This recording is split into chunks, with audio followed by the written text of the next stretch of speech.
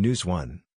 Eli Lilly and Elektrofi entered into a collaboration and license agreement to develop patient-centric subcutaneous therapies. News 2. BMS receives the U.S. FDA's breakthrough designation for BMS 986278 to treat pulmonary and progressive pulmonary fibrosis, IPF and PPF. News 3.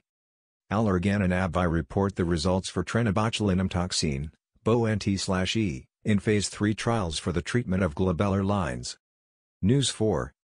Servier's Tibsovo receives the U.S. FDA's approval for the treatment of myelodysplastic syndromes, MDS. News 5. Medina Alzalu Pearl drug-eluting coronary stent system receives the U.S. FDA's approval to treat coronary artery disease. News 6.